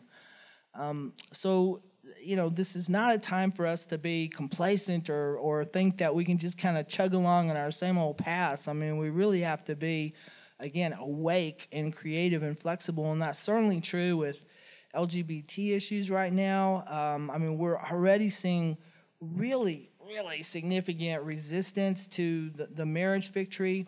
I mean, one place that's happening is particularly around parenting rights. A lot of people think, in fact, I bet you most people in the LGBT community think, oh, as long as we have marriage, that takes care of people's uh, parental rights. It's not true. A lot of states um, the, the, do, do not well, there, there's a presumption that if a married couple has children, they're both parents. But in a lot of states, that presumption is based on biology. And if it turns out, for example, that the husband is not the biological father, he's not a legal parent. That's not true everywhere, but it's true in a lot of states. So you have we've got all these same-sex couples, many of whom are marrying and thinking they're their parental rights are protected, and they're not. And I mean, you have the situation now where somebody could be a parent in one state, you're traveling or you move to another state, you're not a parent in the second state. And that, I mean, that is uh, increasingly coming up in legal cases and really destabilizing to people's family lives. And I'll just mention there's a, a case too that the Alabama Supreme Court, just for the first time in the entire history of our, our nation's legal system, has refused to recognize same sex parent adoption from another state. There's an adoption that was issued in Georgia. And we're that happens to be a case that, that my organization is litigating. We're asking the U.S. Supreme Court to review that decision, and I hope they will. Uh, because if that's not nipped in the bud, I think we will absolutely see other, particularly southern conservative states, just saying, you know what, we're not going to recognize these same sex parent adoptions. Um, so even on the family law arena, uh, things are far from kind of settled. And then the last example I want to mention is just uh, another area of just extreme vulnerability right now, which some people have alluded to, is targeting transgender people and using people's um, just antipathy and lack of knowledge about transgender people to undermine anti discrimination protections for everybody. And we saw this big time in Houston uh, in November. Uh, Houston had enacted this great local law that prohibited discrimination on all these different bases race, gender, disability, even veteran status. And the people, the right wing who don't like any of that, they very smartly decided to focus on the protection of transgender people under this law and, and, mounted this huge public campaign, got enough signatures to put that local law up for a referendum vote on the ballot. And the, everything, their entire campaign was 100% about transgender people having access to bathrooms based on their gender identity. And they played all these scary commercials showing these really creepy men going into women's bathrooms, scaring uh, little girl children. And it was unfortunately very effective. I'll tell you, our movement put more money into combating that campaign than we've ever put into any single legislative campaign millions and millions of dollars and it didn't work that or the repeal of that ordinance passed overwhelmingly by like 62% to uh, 38% and it really is tragic because for the for the few months that that ordinance was in place, there were only a handful of complaints about either sexual orientation or gender identity discrimination. There were tons about race discrimination, and that ordinance is is just gone now. Um, there's also um, a similar effort underway in California right now. There's an effort to get uh, an initiative on the California uh, uh, up for voters in November during the presidential election that would um, prevent transgender people basically from being able to use the appropriate restrooms. And uh, just I'll close, I guess, by saying that we're, we're already seeing similar laws being introduced in Virginia, Florida, Tennessee, Alabama, Wisconsin, North Dakota.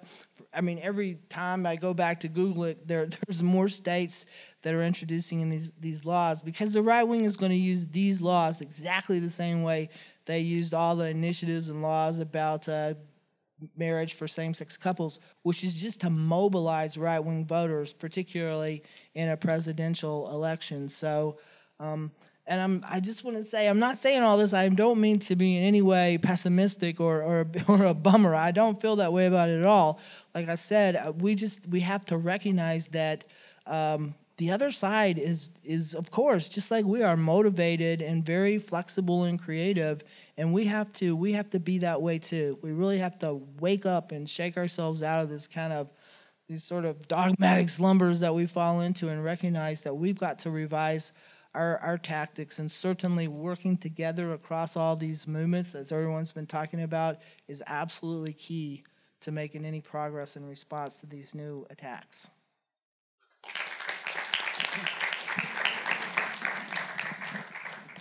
Okay, so you've been very patient, so now we can open it up for questions and comments and discussion.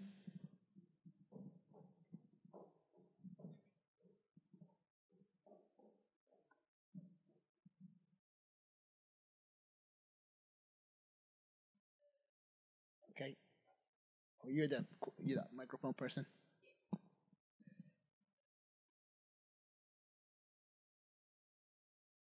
Um, you spoke a lot about language, and it kind of brought me back to I think sodomy laws because they were originally targeted to protect children or against I think bestiality, and then as soon as I think the gay rights movement started picking up in the '60s or even before that, they started to target um, homosexuals individuals and I mean, these rights, even though they were targeted for like the gays, um, the LGBT community, they kind of took away the rights of even heterosexual people as well. So even while we're fighting for LGBT rights, it's also the fight for like straight rights because Planned Parenthood is not only for the LGBT community, it's for other rights as well. And it wasn't, I think, until 2003 where it was made uh, that the Supreme Court ruled that it was unconstitutional to take away, like as you said, sex is for more than just procreation. Like it's it's a fundamental right. Like you have a right to have sex in whichever manner you want.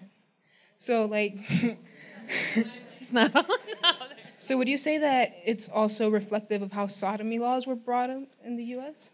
Well, I think what's really interesting. So, like I said, we're we're having these internal discussions now at you know at Planned Parenthood, at the affiliate level, at the national level. Some of that is because we the the especially like our younger staff and activists and volunteers like they're pushing like like I said they they live this and they they want this organization that they care about to change and and to be better.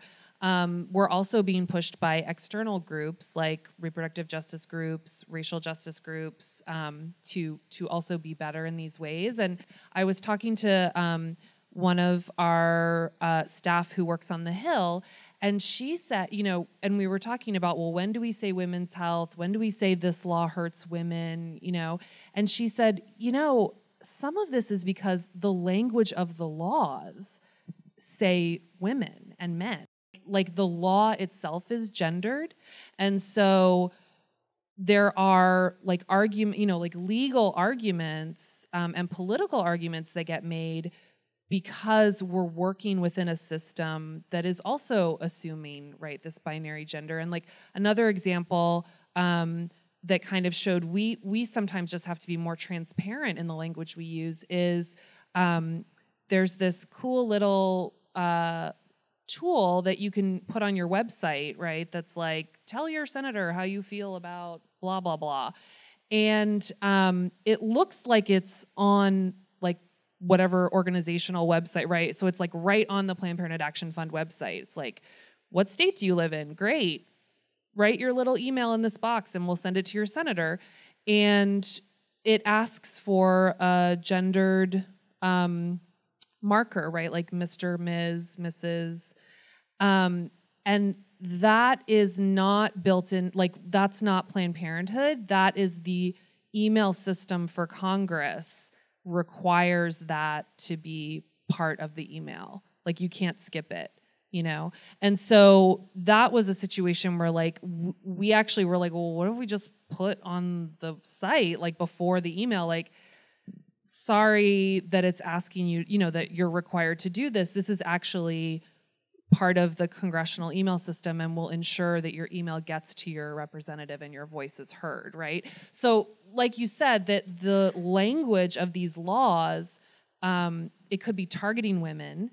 Um, it doesn't just affect women, right? It could be targeting LGBT. I mean, we saw this, right, like with the Hobby Lobby case, that they were making this specific argument about religious the the burden on their religion to to provide you know or not provide birth control for their employees.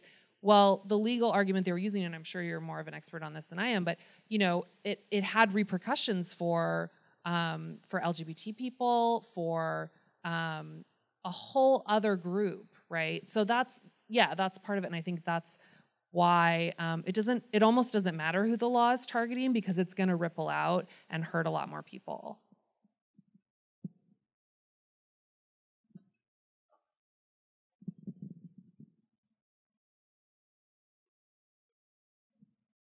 So um, I'm a Texan, and I'm from Houston, and you all put all of this money into Hero, you and other organizations put all this money into Hero, and it didn't work. And we saw some of the very targeted ads you mentioned with these, you know, images of pedophilia and, you know, horrific child abuse and, and, things that were being drawn upon um, to to sway, you know, and it, it was a very emotional campaign, uh, very much rooted in reestablishing, you know, uh, traditional gender norms, and it was very paternalistic. And, and okay, so we know what worked. Okay, we know what didn't work. What could have happened? What do you think might have worked that wasn't done? If we're going to see these sorts of things begin to happen across the country, and this became a bathroom bill. This wasn't a bathroom bill. That was not, you know, the the ordinance itself was not about bathrooms, but it became a bathroom bill. So if we're going to see this start to happen, this tactic has succeeded in Houston. We're going to start to see it elsewhere. What can we do? And then, you know, eh, how can we then envision ways to start to block things like, you know, the conversations that we're seeing pushing back against Title IX in schools and the way Title IX is being used to access facilities and bathrooms. We're starting to see some of the, you know, same things that were effective in Houston now be used to push back against Title IX's expansion. So, I mean, just if you can talk a little bit about moving forward, what can we expect and what should we be doing? That that is a great question. You know, I'm not sure there's anything that could have been done in Houston to win that one. I mean, it was so it's the first time we had seen that, and it was taking advantage of a lot of ignorance about transgender people. But so going forward, I mean, I think it has put us on notice that we have got to do so much more public education to humanize transgender people, so that these types of false images and stereotypes and biases don't resonate so much with people. Very similar to what had to be done around same sex couples. You know, there was a time when um, it was really easy to trigger the public's hostility towards gay people by showing anything to do with a same sex couple, and that has now completely flipped. And it didn't just flip on its own, it flipped through an intense public education campaign and people coming out and talking to people about their families. Need to do that. I mean, one thing we do know from the, the some of the research that's been done is that showing transgender people in the context of families and friends and people who love them and support them really helps people see transgender people in a more positive light. I mean, one thing we need to do too is um, uh, strengthen in a very big way the connections between the transgender community and the part of the women's community, the feminist community that is working against sexual violence against women. I mean, one of the contexts in which this is all happening is there is an epidemic of sexual violence against women. And so people playing on women's fears about sexual violence and assault, those fears are real. And I think the transgender movement would make a huge mistake by just telling people, oh, that's ridiculous, or get over it, you know, which is some of the attitude that I sometimes hear, and I think it's really troubling. I mean, we need to recognize that that there's a reason that so many women are so afraid, and there's also a reason that so many transgender people are so afraid. I mean, transgender people are so victimized by sexual violence and assault too, particularly like um, where I was saying transgender women, particularly transgender women of color. So there should be a natural alliance there. There is a natural alliance of interests, but we got to build out that those political and just like community relationships. So it's going to just take a whole lot of work with public education and, and community building. Oh, do you want to go? Sure. Okay. Um, I just want to say to that point about the importance of women um, really women's organizations really um, standing up against the bathroom bills.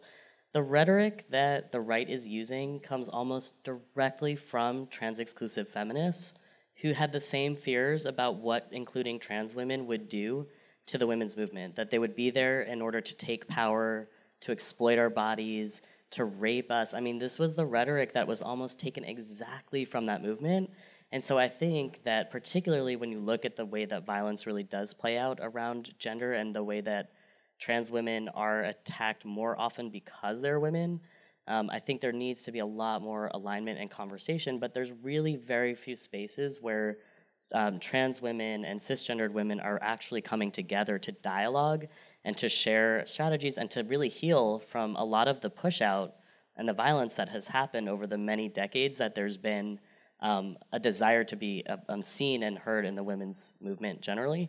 Um, and then I also want to just raise um, the ante a little bit around what bathroom bills really do. Uh, the California ballot initiative, um, not only is it about having a bill that would require you to use the bathroom of your birth gender, it, it criminalizes that act. It also criminalizes the institution that houses that restroom and makes them criminally liable to enforce that bill. And then it also empowers individual people to be the enforcers of that bill within the bathroom and then creates a $4,000 incentive to report um, the crime of using the restroom. And so what it does is it makes it actually illegal to be out as trans in so many ways. If you work with somebody and you're out as trans and they have um, resentment toward you, they can then report you and get $4,000 to pay their bills with, um, even though there's literally no harm reported or associated with trans people using the restroom. Um, so anyway, I kind of want to just raise that the idea that trans people are a wedge being used within you know the women's the fear of you know women and assault it it's something that goes way back to within the women's movement that's then being exploited um, by the same politicians who do everything they can to take away um, bills that would actually um, do protect people who've been victims of violence who are survivors services um, to um, you know, protect women's um, health care rights and safety. So I feel like there's a real need to talk about how these politicians are harming um, women at the same time that they harm trans folks and not play into the kinds of exclusionary ideas that are just false.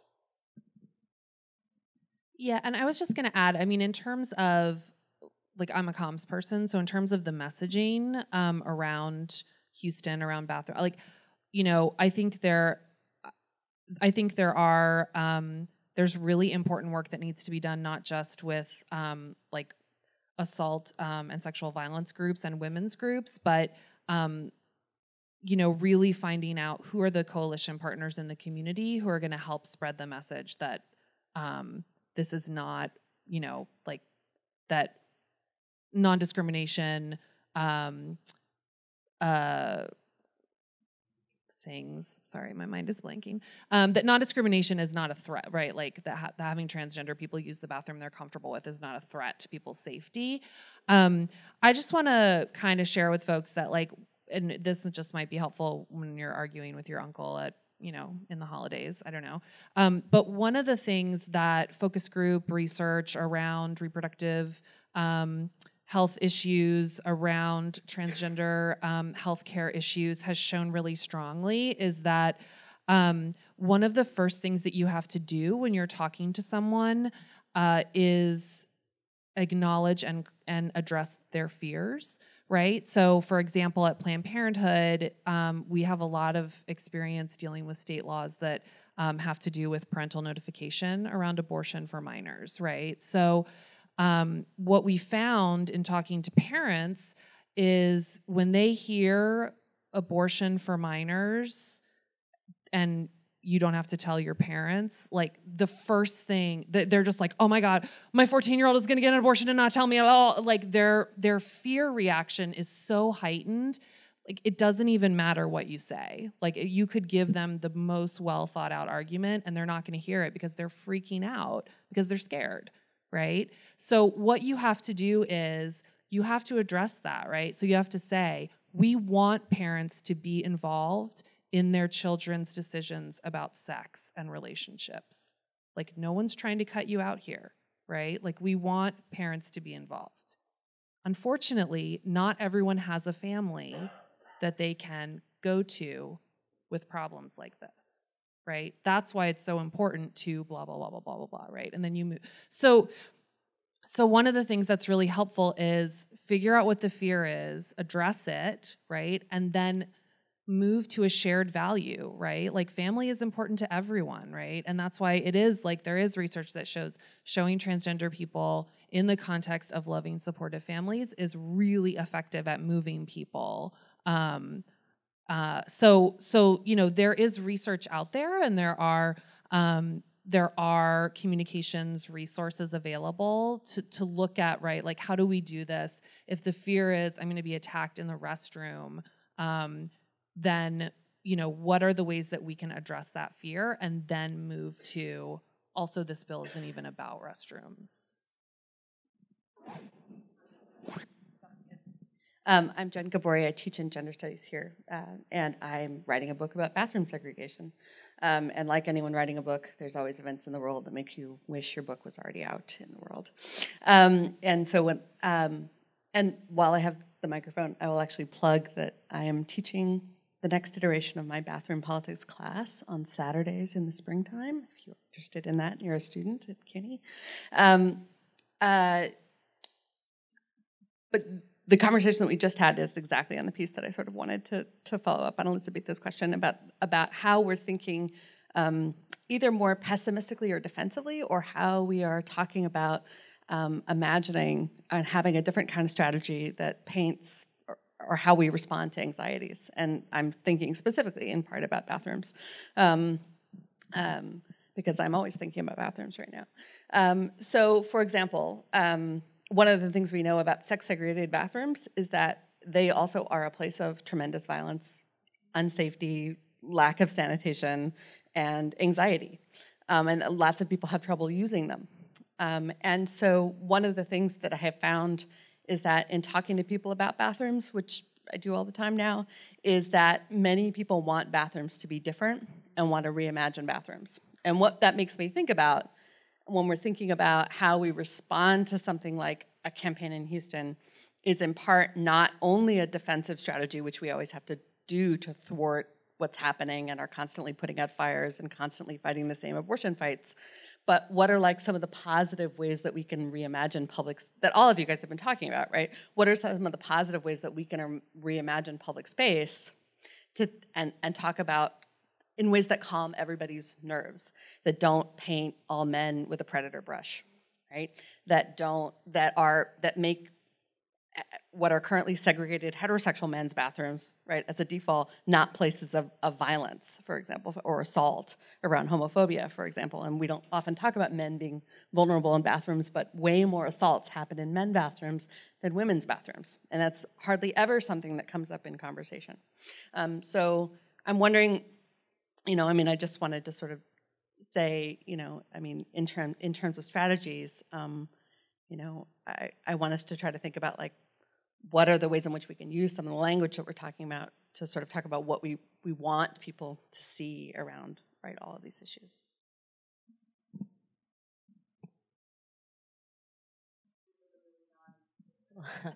um, I'll just say something short, um, which I really appreciate what you just shared. Um, and I think that in terms of combating the the messaging that is going to come up around bathroom bills, I think the messages that are both pro and anti are both going to be very potentially traumatic for transgender people and for a lot of people who have experienced violence and assault.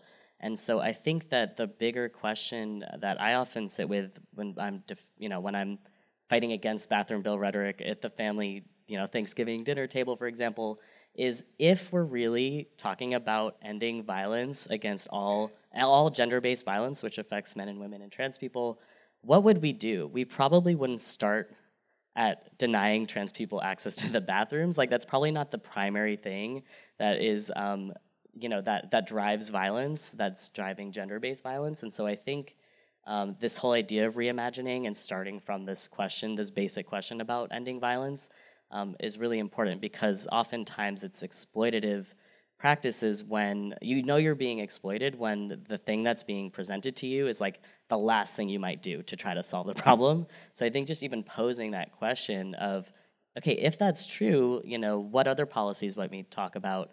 Um, so I think that it's just one little way to sort of reframe the conversation and also expose that this act itself is gender-based violence.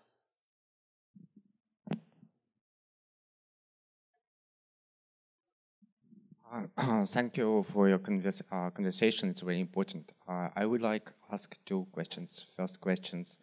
Um, you mentioned immigration uh, question. Uh, so do you work with uh, transphobia and other phobia in different cultural and ethnic communities? And what kind of problems do you have? And another question, um, do you start work with intersex issues? Because intersex movement uh, has own specific and of course intersex movement uh, has common problems with transgender community. Thank you.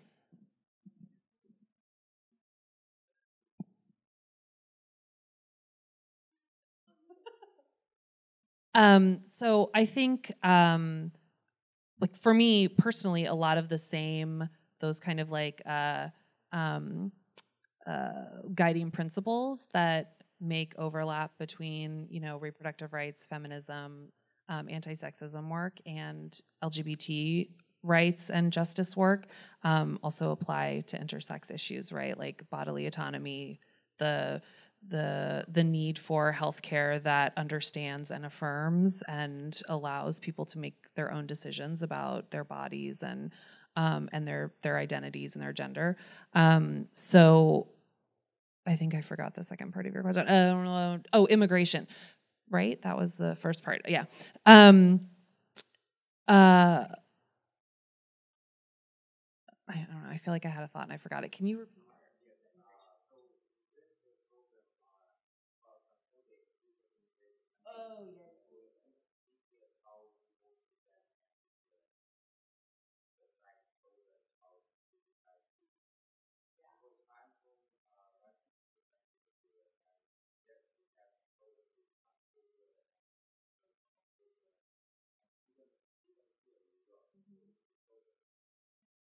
Yeah, I think, I mean, someone else that feels more of an expert can talk about this. I mean, I think, um, you know, especially with immigrant communities, um, there is such a layering of, um, of, you know, that the idea of like what are the true values of the culture is is drawn on, right? Like in the same way that I think, you know, you were talking about, you know, what are the cultural values of America that kind of get drawn on to create these fears, then um, it's sometimes easier in immigrant communities to say, well, you know, it's, I mean, I'll just personally, you know, my my partner's parents are from India, and and his mom used to say used to say, well, there are no lesbians in India right? Like this is an American thing because I brought you to this country. This is why you have turned, you know, and and so there's there there in some communities or in some families there can be this um, sense of you know what is the true culture and then what does that mean to go against the culture. Um, I mean, one thing not specifically around trans issues, but um, one thing that Planned Parenthood does um, it, at the affiliate level is um, we have a, we have programs like, for example, we have a Promotores program, which is a health education and information um, program where um, uh, community members, so Spanish speaker, speaking women, will go to churches, kitchens, you know, wherever in the community that women gather and share health information, um, education, and and let them know where they can go for services. So um, but yeah, I mean, I think you know, with immigrant communities, there there are um, they're layered on right, like other um, challenges to to um, to to fighting through people's fears. I think at times. I mean, but having said that, I think that there are also um, immigrant communities where there's a great deal of uh, understanding and recognition of uh, transgender people. Um, in many parts of the world, as we know, uh, you know, there is an institutionalized role for uh, third gender people. Uh, so, you know, I'm not sure that we should uh, speak in generalities about all immigrant communities. Certainly, some, um, you know, could bear a great deal of education, as we all can, um, on this issue but I think some have a, a kind of indi- indigenous knowledge that is probably greater than um, many of the people sitting in this room, um, including myself, about uh, transgender lives. So um, I'd say be careful about generalizations.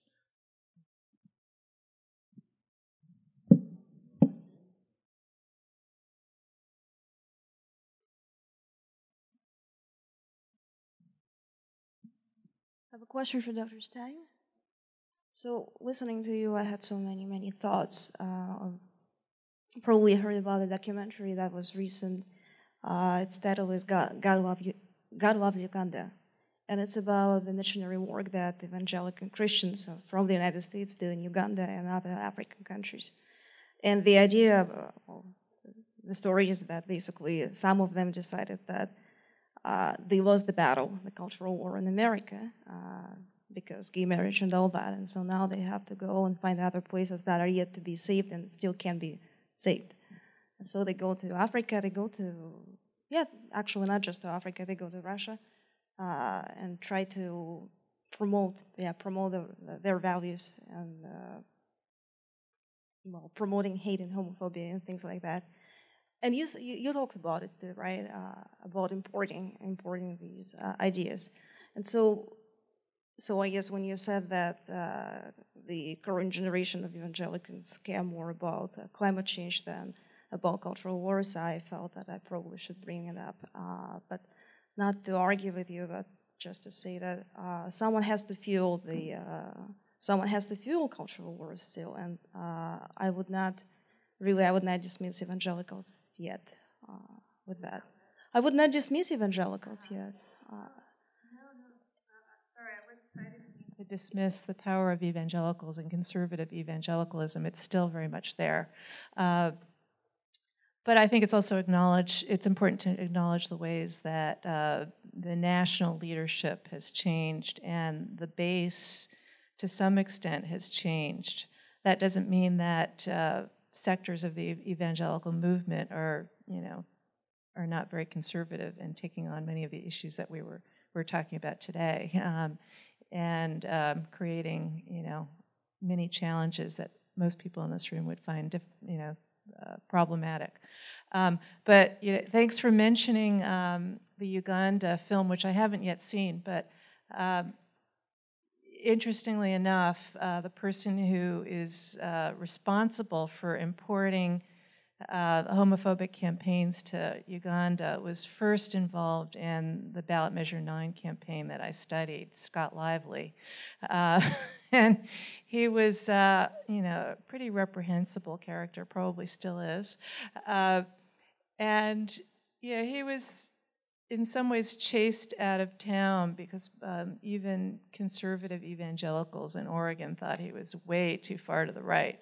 Um, so, uh, where did he go? He went to Uganda, where uh, unfortunately there wasn't yet a base of uh, you know, sort of activism and organization to, tr- to try to counter his appeal. Um, so, yes, it's important to understand the, the global international connections of a lot of what we're talking about today. Thank you for bringing that up.